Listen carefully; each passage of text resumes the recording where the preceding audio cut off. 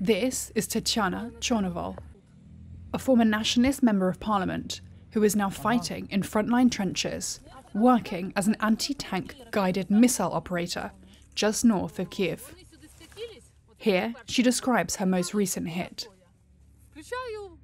I switched it on and saw tanks on the screen. They just entered within the range of my missile. I took aim and destroyed the first tank. Interestingly, the rocket was flying for quite some time. Perhaps the tanks registered the rocket's launch and managed to turn back, but I shot it right at the fuel tanks and the ammunition load has detonated. The tank literally flew off the road and now it is somewhere in the road ditched in the forest. After that, we came under fire, not for long.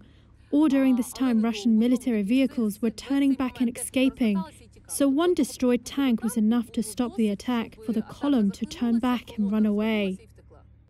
A high profile anti corruption campaigner, Tetyana, who is also a former journalist, was one of the leaders in the Euromaidan protests. She turned to politics in 2014 and was elected a member of the Nationalist and Conservative People's Front Party. But now she's part of a unit tasked with engaging and destroying Russian tanks and armoured vehicles to stop its approach on the Ukrainian capital. Tetyana is a war widow herself.